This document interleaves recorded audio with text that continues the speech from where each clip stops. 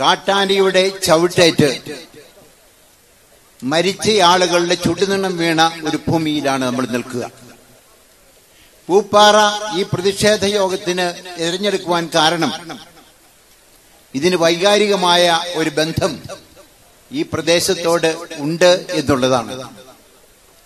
നമ്മളുടെ പ്രിയപ്പെട്ട ആളുകൾ കാട്ടാനിയുടെ ക്രൂരമർദ്ദനത്തിൽ കൊല ചെയ്യപ്പെട്ടപ്പോൾ അവരോട് ഐക്യദാർഢ്യം പ്രഖ്യാപിക്കുവാനും നമ്മളുടെ പ്രതിഷേധം അർഹി ഇവിടെ അറിയിക്കുവാനുമാണ് നമ്മൾ ഇവിടെ ഒരുമിച്ച് കൂടിയിരിക്കുക. ഇന്ന് നാം ഇവിടെ നടന്ന റാലിയിൽ ഉയർത്തിയ പതാകകളുടെ നിറം കക്ഷി രാഷ്ട്രീയത്തിന്റെ പതാകകളല്ല. ഈ വേദിയിലിരിക്കുന്നത് രാഷ്ട്രീയ പാർട്ടിക്കാരല്ല. എന്നാൽ ഇവിടെ നിൽക്കുന്ന ആളുകൾ രാഷ്ട്രീയ പാർട്ടിയിൽപ്പെട്ടവരുണ്ട്. ഇടതുപക്ഷത്തിൽപ്പെട്ടവരുണ്ട് വലതുപക്ഷത്തിൽപ്പെട്ടവരുണ്ട്. പക്ഷേ എല്ലാവരെയും ഒരുമിപ്പിക്കുന്നത് മാനവിക സ്നേഹമാണ്. നമ്മളുടെ ഒരാളുടെ രക്തം ഇവിടെ വീണാൽ ആ രക്തത്തിന് ചുവപ്പാണെന്ന് പറയാൻ നമുക്ക് സാധിക്കുമ്പോൾ അതിനോട് നമ്മൾ ഐക്യദാർഢ്യം പ്രഖ്യാപിച്ചുകൊണ്ട് മുന്നോട്ട് പോകുമ്പോൾ വിശാലമായ ഒരു ചിന്ത നമ്മൾ വെച്ച് പുലർത്തുന്നു. കക്ഷി അതീതമായിട്ട് മതവർഗ ചിന്തകൾക്ക് അതീതമായിട്ട് നമ്മൾ ഇവിടെ ഒരുമിച്ച് കൂടുമ്പോൾ മനുഷ്യന്റെ ജീവന്റെ വിലയെക്കുറിച്ചാണ് നമ്മൾ ചിന്തിക്കുക. തെരുവുനായക്ക് കൊടുക്കുന്ന ആ വില പോലും വന്യമൃഗങ്ങൾക്ക് കൊടുക്കുന്ന ആ വില പോലും മനുഷ്യന് കൊടുക്കാത്ത ഒരു അവസ്ഥയിൽ നമ്മൾ എത്തി നിൽക്കുമ്പോൾ നമ്മളുടെ രോഷം ആളിക്കുത്തും. അതാണ് ഇന്ന് നിങ്ങളെ ഇവിടേക്ക് കൊണ്ടുവന്നത്. ഇവിടെ സാധാരണഗതിയിൽ ഒരു റാലി കഴിയുമ്പോൾ ആളുകൾ തിരിച്ചു പോവുകയാണ് പതിവ്. ഇപ്പോൾ നന്ദി പ്രകടനം നടത്തുന്ന അവസരത്തിൽ മാത്രമാണ് ആളുകൾ പോവുക. കാരണം നമുക്ക് ഒത്തിരിയേറെ കാര്യങ്ങൾ അറിയാനും പങ്കുവയ്ക്കുവാനും ഇവിടെ ഉണ്ട് എന്ന് മനസ്സിലാക്കിയതിന്റെ പേരിലാണ് നിങ്ങൾ വളരെ ശ്രദ്ധയോടെ ഇതിനു മുമ്പുള്ള പ്രസംഗങ്ങൾ ശ്രവിച്ചത്.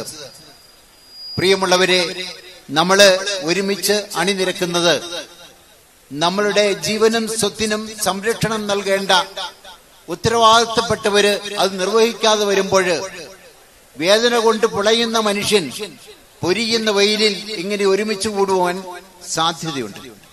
അതാണ് നമ്മൾ ഇവിടെ കണ്ടത്. മൂന്നോ നാലോ അഞ്ചോ ദിവസങ്ങൾക്ക് മുമ്പ് പ്ലാൻ ചെയ്ത ഒരു മീറ്റിംഗ് ആണിത് ഇവിടേക്ക് ആയിരങ്ങൾ ഒഴുകിയെത്തണമെങ്കിൽ ആരുടെയും സ്വാധീന ശക്തി കൊണ്ടല്ല ഇത് നമ്മൾ ഒരുമിച്ച് പോരാടിയില്ലെങ്കിൽ ഒരു വിജയവും നമ്മൾക്ക് നേടാൻ സാധിക്കില്ല എന്നുള്ള ചിന്ത നിങ്ങളുടെ മനസ്സിൽ ഉറഞ്ഞുകൂടിയതുകൊണ്ടാണ്. ഇവിടെ ജീവിക്കാൻ നമുക്ക് അവകാശമുണ്ട്. ആ അവകാശം നിഷേധിക്കപ്പെടുമ്പോൾ ചെയ്യാൻ നമുക്ക് അവകാശമുണ്ട്. അതുകൊണ്ട് നാം ഒരുമിച്ച് നിന്ന് പടപൊരുതണം കപട പരിസ്ഥിതിവാദികൾ ഇപ്പോഴും പറയും വന്യമൃഗങ്ങളെ സംരക്ഷിക്കണം പരിസ്ഥിതി സംരക്ഷിക്കണം. ഒരുപക്ഷെ കേരളമാണ് പരിസ്ഥിതി സംരക്ഷണം നടത്തുന്ന ഏറ്റവും നല്ല ഒരു സംസ്ഥാനം. ദേശീയ ശരാശരിയേക്കാൾ കൂടുതൽ ഇരുപത്തിനാല് ശതമാനത്തോളം വനവിസ്തൃതി കേരളത്തിനുണ്ട്. ദേശീയ ശരാശരി ഇരുപത് ശതമാനം മാത്രം. അപ്പോൾ ഇങ്ങനെയുള്ള ഈ നാട്ടിൽ വീണ്ടും വനവിസ്തൃതി വർദ്ധിപ്പിച്ചുകൊണ്ട് കാട്ടാനകൾക്കും കാട്ടുപോത്തുകൾക്കും പന്നികൾക്കും ആനുകൾക്കും മൃഗങ്ങൾക്കും ഒക്കെ സംരക്ഷണം നൽകുക. മനുഷ്യനെ സ്നേഹിക്കുന്നവർക്ക് യോഗ്യമുള്ള യോഗ്യതയുള്ള കാര്യമല്ല. കപട പരിസ്ഥിതിവാദികൾ ഇങ്ങനെ വാദിക്കുമ്പോൾ പരിസ്ഥിതിവാദിയുടെ ഉപജ്ഞാതാവ് എന്ന് പറയാവുന്ന മാധവ് ഗാഡ്ഗിൽ ഈ അടുത്ത ദിവസം ഇറക്കിയ ഒരു പ്രസ്താവനയെ കുറിച്ച് നിങ്ങൾ ഓർക്കുക. അദ്ദേഹം പറഞ്ഞു കേരളം പോലെയുള്ള ഒരു സംസ്ഥാനത്തിൽ മൃഗങ്ങളെ കൊല്ലുകയല്ലാതെ മറ്റൊരു മാർഗവുമില്ല. സ്വീഡൻ ഓസ്ട്രേലിയ തുടങ്ങിയ രാജ്യങ്ങളിൽ അവിടുത്തെ മൃഗങ്ങളെ ഒരു പരിധിയിലപ്പുറം അവ ആ മൃഗങ്ങളുടെ എണ്ണം വർദ്ധിക്കുമ്പോൾ അതിനെ കൊല്ലുന്നു അതിനെ തിന്നുന്നു അതിനെ വിപണിയിൽ കൊടുക്കുന്നു.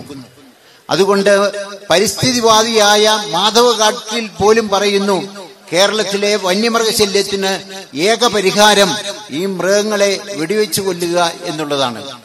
അതും പന്നി കേഴ മുതലായ മൃഗങ്ങളെ വെടിച്ചു കൊടുക്കാനുള്ള അനുവാദം കർഷകന് കൊടുക്കണമെന്ന് കൂടി അദ്ദേഹം പറയുന്നു. പലപ്പോഴും അഭിമന്യ പിതാവ് മാധ്യമക്കാരെ കാണുമ്പോൾ അവർ ചോദിക്കുന്ന ഒരു ചോദ്യമുണ്ട്. പിതാവ് ഏത് പക്ഷത്താണ്? ഇടതുപക്ഷത്താണോ വലതുപക്ഷത്താണോ? പിതാവിന് ഒരേ ഒരു ഉത്തരമേ ഉള്ളൂ. ജനപക്ഷത്താണ് ഞാൻ നിൽക്കുന്നത്. അതാണ് ശരിയായ ഉത്തരം. ജനസ്വരം ദൈവസ്വരം എന്ന് മനസ്സിലാക്കിക്കൊണ്ട് ഈ ജനങ്ങളുടെ വികാരങ്ങളും വേദനകളും ഉൾക്കൊണ്ടുകൊണ്ട് അതിനൊരു പരിധി വരെയെങ്കിലും പരിഹാരം നടത്താൻ നമുക്ക് കടമയുണ്ട് എന്ന് വിശ്വസിച്ചുകൊണ്ടാണ് അഭിയന്തി പിതാവ് ഇങ്ങനെയുള്ള ഒരു റാലിയെക്കുറിച്ചും തുടർന്നുള്ള സമ്മേളനത്തെക്കുറിച്ചും ഒക്കെ ആലോചിച്ചതും അതിനുള്ള കർമ്മപദ്ധതികൾ ആസൂത്രണം ചെയ്തതും.